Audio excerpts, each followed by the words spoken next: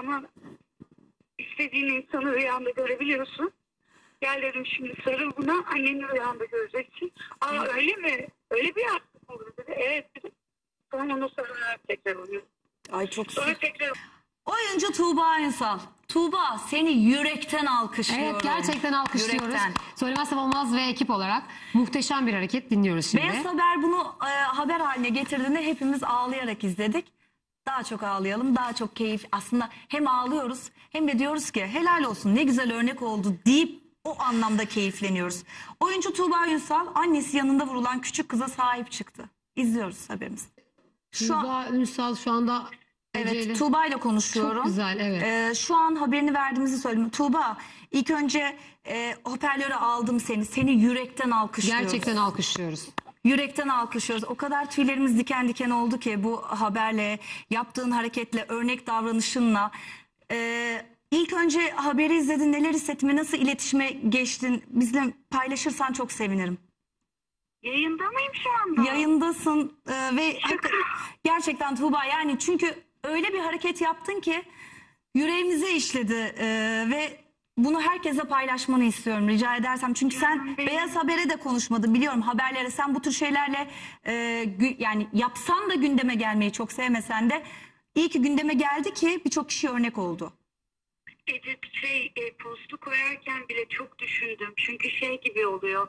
E, insanlar zannediyorlar ki hayatında sadece bir kere böyle bir şey yapıyorsun ve onu paylaşıyorsun. O yüzden çok hassasiyetle davranmaya e, özen gösteriyorum bu tip durumlarda ama ben zaten hayatımın çoğunu hakikaten böyle e, yaşıyorum. Bunun paylaşmamın nedeni bundan birkaç hafta önce yine benzer bir durumla ilgili bir ya- yardım topluyordum. Çevremdeki herkese de yazmıştım. O kadar çok az kişiden geri dönüş aldım ki hatta böyle 80 kişilik WhatsApp grubunda yazdıysam eğer 3 kişiden falan geri dönüş almıştım ve çok kalbim kırılmıştı. Ya insanların artık bu merhamet yorgunluğuna kapılmaları, artık yani vicdanlı insanları e, DNA, e, genetik kodumuzda var Türk halkının ama artık o kadar bu coğrafyada doğduğun günden itibaren acının içinde yaşıyorsun ki artık herkes böyle kolunu kıpırdatamaz, kimseye iyilik yapamaz hale geldi. Doğru. Ve çok kalbim kırıldı. Hiç kimseye bir şey söylemedim. Ve kendi başıma böyle e, yardımcı olmaya çalıştım. Burada da bunu paylaşma nedenim bugün dedim. Ben çok etkilendim ve çok çok üzüldüm Almira için. Okuduğum günden itibaren annesini bu şekilde kaybetmesi bir sürü detay var. Teyzeleriyle konuşuyorum. Sonra dedim ki yani bunu ben bugün yazacağım hiç de acıda etmeden yazmaya çalıştım. Çok daha ağır detaylar var yani. Hem gece kendi yaşadığım, bütün yaşadıklarımız, Sare ile, Leyla ile, Civan'la iletişiminde sorduğu sorular falan. Bunu yazayım ki dedim bel- belki bir kişi bundan etkilenip çevresinde bir tane çocuğa destek olsa böylelikle bir sürü e, yere değebiliriz. Çünkü artık şey olmuşuz ya e, vicdanımız, merhametimiz e, katılaşmış. O yüzden Tuğba- çok teşekkür ederim. Tuğba sadece bir şey soracağım. Sabahleyin de rica etti, Bilal Bey rica etti. Bilal ama- sabah dörtte sana mesaj atmış ağlayarak bu haberi izleyip. Evet biliyorum biliyorum ben ona demiştim ki şey yani çok korkuyorum böyle şeyleri çok yanlış kullanan insanlar var.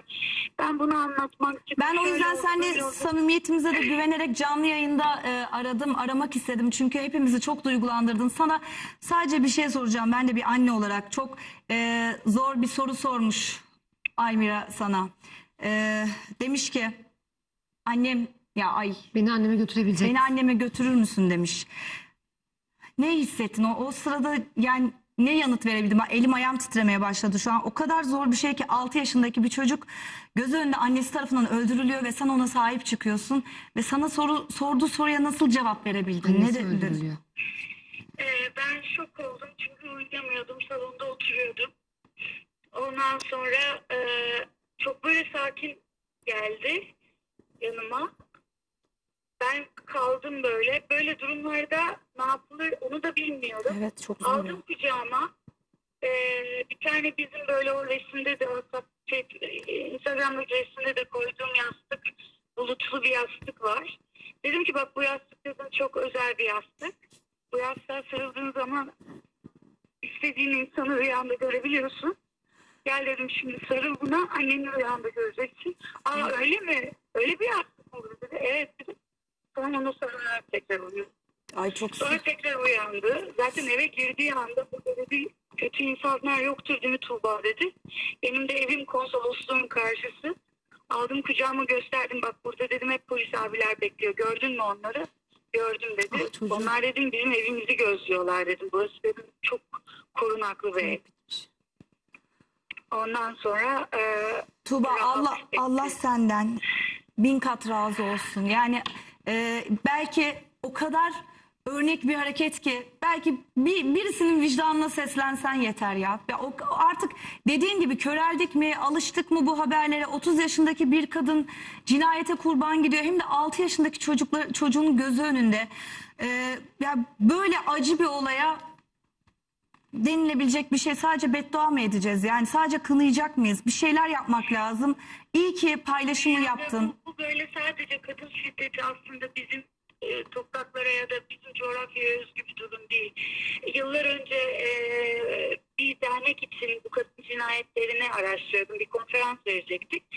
E, İngiltere'de e, 90'lı yıllarda kadın cinayetleri konusunda dünyada bir numara. En fazla kadın cinayeti işlenen ülke düşün İngiltere. Yani ne kadar modern, ne kadar Görünse de. bir medeniyet olarak görüyoruz değil mi? Sonra diyorlar ki buna e, devlet diyor ki buna bir şey yapmamız lazım. Çünkü bu bizim büyük problemimiz. Ve e, bir sürü profesör çağırıyorlar, pedagog çağırıyorlar ve bir e, çalışma hazırlıyorlar. Diyorlar ki en temelinde ne yapmamız lazım? Okullarda bir ders okutmaya başlıyorlar. E, erkek çocuklarına özel, kız çocuklarına ayrı sınıfları bölüyorlar. Erkek çocuğuna kıza nasıl davranması gerektiğini ilkokuldan itibaren anlatmaya başlıyor. Kız çocuklarına böyle bir durum olduğunda kendini nasıl koruması gerektiğini e, anlatıyor.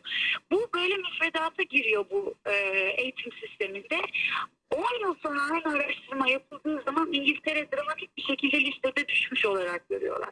Yani bu aslında işte e, Türkiye'ye özgü ya da işte daha... Eğitimle başlıyor diyorsun. Ta- Eğitimsiz ülkelere özgü bir şey değil yani. E, bak biz biraz daha böyle stereotip bakıyoruz bu konuya ama sadece Türkiye'nin de problemi değil. E, Özellikle anneleri aslında bu konuda bilinçlendirmek lazım. Sen de mesajında ona da çok değinmişsin. Tabii, tabii, Evet. tabii, tabii. Yani erkek çocuğundan başlıyor. Biz erkek çocuğunu e, farklı şekillerde kültürümüzde büyütüyoruz. Çö- mesela e, kızı kızı küçük yaştan itibaren yatağını toplamasını öğretiyoruz. Erkek çocuğu boş bırakıyoruz. Onun yatağını biz topluyoruz. Yani e, sorumluluğu almayı, davranışı, kadına karşı, kıza karşı davranışı mesela e, ben, ben mesela Civan Mert'e hep şunu söylüyorum. Okulda tartışıyorlar, kavga yapıyorlar. Hepimizin çocukları bunları yaşıyor. Diyorum ki bir kız çocuğuyla tartışırsan hayatını bir ki erkek çocuğu sana vurduğu zaman önce anlatmaya çalışacaksın vurmaması gerektiğini. Ondan sonra gideceksin devletine şi- şikayet edecek. Ya da öğretmenine hemen söyleyeceksin. En sonunda eğer dayanamıyorsa hani tamam okey sen de kendini koruyabilirsin. Çünkü biz de bu süreçleri okulda yaşıyoruz. Doğru. Ama hani bu ço- bu çocukları bu şekilde eğittiğimiz için bunlar hale geliyor. O yüzden eğitim sisteminin içine bunu en temelinde sokmak gerekiyor. Türkiye'de maalesef sorun şiddete uğrayan kadını e, koruma, e, korumaya yönelik takım sistemler yapılıyor derneklerde. Ama oraya gelene kadar mesela işte, e, uyarı sistemleri var dünyada. Ne bileyim e, bir takım tipler var Hı hı. e, uzaklaşmasını engelleyen. Mesela Tuba, e, Angela'nın annesi Tuba'nın başına gelen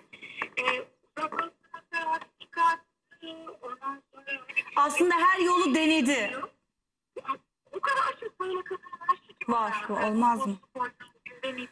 Ama sen belki bir farkındalık yarattın. Burada e, bir ünlü olarak iyi ki o paylaşımı yaptın. Senin özel hayatında da neler yaptığını çok iyi biliyorum ben.